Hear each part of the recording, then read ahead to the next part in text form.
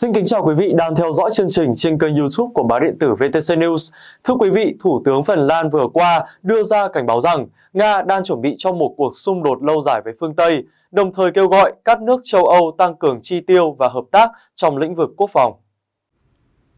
Cảnh báo Nga đang chuẩn bị cho cuộc xung đột dài hơi với phương Tây, Thủ tướng Phần Lan Petteri Orpo đã kêu gọi châu Âu chi nhiều hơn cho quân sự và rằng Moscow không phải bất khả chiến bại. Ông Oppo nói, rõ ràng Nga đang chuẩn bị cho một cuộc xung đột lâu dài với phương Tây và là mối đe dọa quân sự lâu dài và thiết yếu đối với châu Âu. Phần Lan, một nước Bắc Âu vừa gia nhập NATO và giáp với Nga, đang đối mặt với nhiều sức ép hơn từ người láng giềng khổng lồ. Trong thông điệp trước các nhà lập pháp EU, Thủ tướng Oppo đã kêu gọi 27 quốc gia EU tăng cường chi tiêu quốc phòng và cho biết khối này phải tự lo việc phòng thủ của mình. Nhà lãnh đạo Phần Lan nhấn mạnh nếu không đáp trả đúng thách thức này, những năm tới sẽ tràn ngập nguy hiểm và mối đe dọa tấn công rình rập. Phần Lan ngày 4 tháng 4 năm 2023 đã chính thức trở thành thành viên thứ 31 của NATO,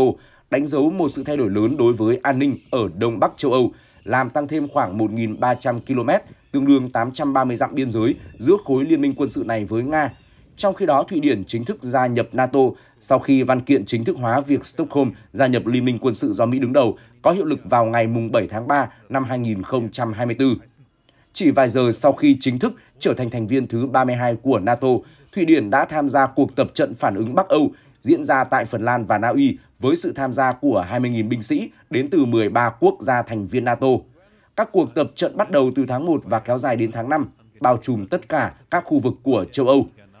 Ngoại trưởng Thụy Điển Tobias Billstrom ngày 12 tháng 3 cho biết Stockholm sẵn sàng cho phép các nước thành viên NATO triển khai quân đến nước này, nhưng không liên minh thiết lập căn cứ đồn trú lâu dài. Trước đó, tờ Financial Times đưa tin Thụy Điển với tư cách thành viên NATO có thể trở thành một trung tâm hậu cần, đồng thời là điểm chuyển quân của NATO. Với việc Thụy Điển chính thức gia nhập NATO, sau Phần Lan, tất cả các quốc gia giáp biển Baltic, ngoại trừ Nga, đều đã trở thành thành viên của liên minh quân sự này.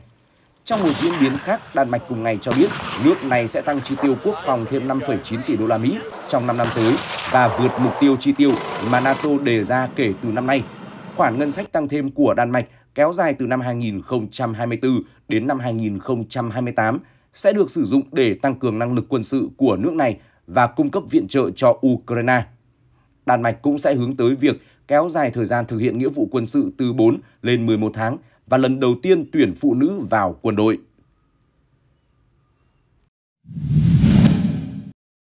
Theo thông tin mới nhất từ ông Mikhailo Fedorov, Bộ trưởng Bộ chuyển đổi kỹ thuật số Ukraine, nước này đã bắt đầu sản xuất hàng loạt các hệ thống robot quân sự có khả năng hoạt động như các thiết bị không người lái cảm tử, tháp pháo điều khiển từ xa, bệ khai thác và giả phá bom mìn cũng như các phương tiện sơ tán. Ông Fedorov cho biết trong một bài đăng trên Telegram rằng việc sản xuất hàng loạt hệ thống robot quân sự trên mặt đất đã bắt đầu ở Ukraine. Prey đã thử nghiệm hơn 50 hệ thống tại bãi tập, trong đó Prey là nhóm phát triển công nghệ quân sự do các cơ quan chính phủ Ukraine thành lập. Các khả năng hoạt động như thiết bị không người lái cảm tử, tháp pháo, bệ khai thác và giả phá bom mìn, sơ tán người bị thương cũng như vận chuyển đạn dược đến các vị trí cố định của robot quân sự này đều đã được thử nghiệm. Bộ trưởng Fedorov bày tỏ sự tin tưởng rằng các hệ thống robot trên mặt đất này sẽ là nhân tố thay đổi trong cuộc giao tranh tiếp theo với Nga. Theo ông Fedorov, đây là chiến thuật tác chiến bất đối xứng trước ưu thế về số lượng vũ khí của quân đội Nga. Nhóm phát triển Prewan đến nay đã tạo ra hơn 140 robot và 96 trong số đó đã trải qua quá trình thử nghiệm và 14 loại đã được hệ thống hóa theo tiêu chuẩn của NATO. Business Insider dẫn thông tin từ nhóm phát triển Prewan của Ukraine cho biết, hồi tháng 10 năm ngoái, Prewan cũng từng trình làng phương tiện tấn công mặt đất không người lái UGV có tên là Raytheon S hay còn gọi là Honeyburger trọng lượng lên tới gần 35 kg với tốc độ tối đa 24 km/h. Bà Victoria Kovanchuk, phát ngôn viên của Prewan chia sẻ, ý tưởng chính là thiết bị không người lái mặt đất được sử dụng như một đầu đạn di động mang mìn chống tăng hoặc các thiết bị nổ khác tấn công xe tăng đối phương. Ông Fedorov thông tin rằng UGV Raytheon S được trang bị bộ lặp và hệ thống kích nổ từ xa và hoạt động dưới sự điều khiển của quân nhân Ukraine thông qua hệ thống camera góc nhìn thứ nhất. Với tầm hoạt động khoảng 6 km, thiết bị này được kỳ vọng là sẽ giúp quân đội Ukraine cho nổ tung xe tăng và thiết bị quân sự của Nga từ một khoảng cách an toàn, giảm đáng kể con số thương vong khi giao tranh xảy ra. Thiết bị tấn công mặt đất không người lái Raytheon S được phát triển như một phần của dự án do ông Fedorov giám sát. Trưởng nhóm phát triển Breon, ông Taras Ostapchuk nói với Kiev Post rằng UGV có thể lặng lẽ tiếp cận các vị trí của Nga vượt qua chướng ngại vật cao tới 25 cm và hoạt động hiệu quả trên địa hình cát. Trong một thời gian, Ukraine đã tận hưởng lợi thế của những chiếc máy bay không người lái tự nổ được sử dụng như tên lửa tự chế. Các vũ khí này dường như là giải pháp thay thế hiệu quả cho đạn pháo để tấn công các lực lượng của Nga. Hiện nay, những ngày tồi tệ đang bắt đầu át đi những ngày thuận lợi đó của Ukraine. Các biện pháp đối phó điện tử đã trở thành một trong những vũ khí đáng gầm nhất của quân đội Nga sau nhiều năm mài rũa khả năng. Tác chiến điện tử vẫn là bàn tay vô hình trong phần lớn cuộc xung đột và giống như quân số cũng như nguồn cung đạn dược, Ukraine gặp khó khăn trong lĩnh vực này so với Nga. Moscow có nhiều thiết bị gây nhậu hơn, có khả năng áp đảo các tín hiệu của Ukraine bằng cách phát sóng cùng tần số ở công suất cao hơn. Nga cũng thể hiện sự phối hợp tốt hơn giữa các đơn vị của họ. Với việc viện trợ quân sự phương Tây vẫn bấp bênh và đạn pháo ở mức thấp, áp lực lên các phương tiện không người lái của Ukraine chỉ ngày càng tăng, khiến cho quân đội Kiev rơi vào tình thế ngày càng nguy hiểm. Các cuộc phỏng vấn với các binh lính, chỉ huy và nhà phân tích quân sự Ukraine đều cho rằng khả năng gây nhiễu của Nga đang gây sức ép lên nguồn cung UAV hạn chế của Ukraine và đe dọa loại bỏ một thành phần quan trọng trong kho vũ khí của nước này khi Điện Kremlin sản xuất hàng loạt đội UAV của riêng mình. Quân đội Ukraine mô tả, trong khi một bên thực hiện những thay đổi về công nghệ, chẳng hạn như sử dụng các tần số khác nhau hoặc thiết bị gây nhiễu cho UAV, thì sau đó bên kia sẽ bắt kịp trong vài tuần hoặc vài tháng, làm mất đi bất kỳ lợi thế ngắn hạn nào. Bà Bay, một trung sĩ phụ trách trung đội UAV ở mặt trận phía đông Ukraine cho biết,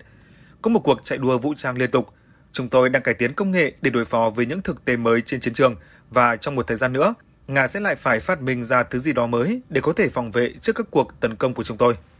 Đầu tháng 3, đội quân nhỏ của DJ, một phần của đơn vị vệ binh quốc gia được biết tới là lữ đoàn Purevi đã thiết lập tiền đồn UAV trong những đống đổ nát của một trang trại gần tiền tuyến bên ngoài Kremina. Họ triển khai các thiết bị cần thiết để phát video và chuyển tiếp các lệnh từ phi công tới các FPV bao gồm anten, rơ le tần số, Internet vệ tinh Starlink và máy tính sách tay. Việc Ukraine tiếp cận với UAV và tác chiến điện tử đã được tài trợ và cung cấp một phần bởi các nhóm khác nhau ngoài quân đội, bao gồm cả ngành công nghệ thông tin. Mỗi đơn vị UAV trên chiến trường đóng vai trò như một phòng thí nghiệm các công nghệ mới, các thủ tục mua sắm và các nhiệm vụ chiến đấu. Trong khi đó, cách tiếp cận của Nga mang tính từ trên xuống nhiều hơn với sự giám sát quân sự chặt chẽ. Điều này khiến đội UAV của Nga trở nên dễ dự đoán hơn với ít sự thay đổi về chiến thuật và chủng loại. Tuy nhiên, nó cũng cho phép quân đội Nga gây nhiễu UAV của Ukraine trên chiến trường mà không cần phải gây nhiễu thiết bị của chính mình bằng cách phối hợp giữa đường bay và các thiết bị gây nhiễu. Một người điều khiển UAV của Ukraine cho hay, không có điều gì giống như vậy ở phía Ukraine. Việc thiếu cấu trúc chỉ huy rộng hơn có thể điều phối các đơn vị UAV dọc tiền tuyến, thường gây ra sự bối rối trong quân đội Ukraine. Người điều khiển UAV đôi khi có thể mất kết nối với máy bay của họ và cuối cùng phải nhìn qua camera của một UAV khác. Người đứng đầu chính sách đối ngoại của Liên minh châu Âu EU, ông Joseph Borrell tuyên bố nạn đói đang được sử dụng như một vũ khí chiến tranh ở giải Gaza. Ông Joseph Borrell mô tả việc thiếu viện trợ chảy vào lãnh thổ này là một thảm họa nhân tạo. Trong khi đó, Thủ tướng Israel Benjamin Netanyahu tuyên bố sẽ tiếp tục tấn công ở miền nam Gaza. Cách nhanh nhất, hiệu quả nhất để đưa viện trợ vào lãnh thổ này hiện nay là bằng đường bộ. Nhưng các cơ quan viện trợ cho biết những hạn chế của Israel có nghĩa là chỉ một phần nhỏ những gì cần thiết mới được đưa vào giải đất này. Thay vào đó, sự chú ý đã chuyển sang các tuyến đường thay thế, bao gồm cả đường biển và đường hàng không. Ngoài ra, theo Israel, họ không có lỗi trong tình trạng thiếu lương thực ở Gaza vì nước này đang cho phép viện trợ qua hai cửa khẩu ở phía nam.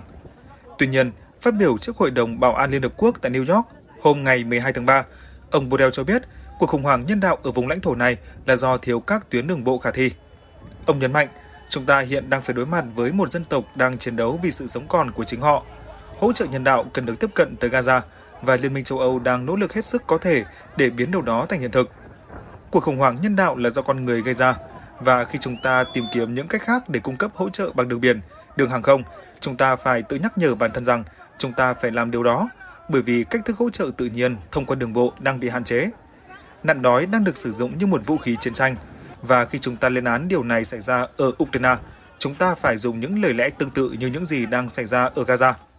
Trong khi đó, ông Philippe Lazzarini, cao ủy của cơ quan Liên Hợp Quốc về người tị nạn Palestine, UNRWA, mô tả số trẻ em thiệt mạng trong cuộc xung đột của Israel ở Gaza là đáng kinh ngạc. Ông cho biết số trẻ em được báo cáo thiệt mạng chỉ trong hơn 4 tháng ở Gaza, cao hơn số trẻ em thiệt mạng trong 4 năm chiến tranh trên toàn thế giới cộng lại. Trong khi đó, tổ chức phi lợi nhuận World Central Kitchen cho biết một con tàu chở viện trợ nhân đạo đến Gaza đang trên đường từ ship. Đây là chuyến hàng viện trợ nhân đạo đầu tiên bằng đường biển đến Gaza. Con tàu khởi hành sau thông báo rằng SIP, Liên minh châu Âu, Hoa Kỳ, các tiểu vương quốc Ả Rập Thống Nhất và Vương quốc Anh đang nỗ lực thiết lập một hành lang hàng hải để cung cấp viện trợ cho Gaza. World Central Kitchen cho biết họ có kế hoạch phân phối nguồn cung cấp cho khoảng 500.000 bữa ăn khi tàu đến Gaza, bao gồm gạo, bột mì, đậu, đậu lăng và thịt đóng hộp. Liên Hợp Quốc hoan nghênh chuyến hàng, nhưng nhấn mạnh rằng nó không phải là sự thay thế cho việc hỗ trợ bằng đường bộ cho người dân Gaza đang bên bờ vực nạn đói.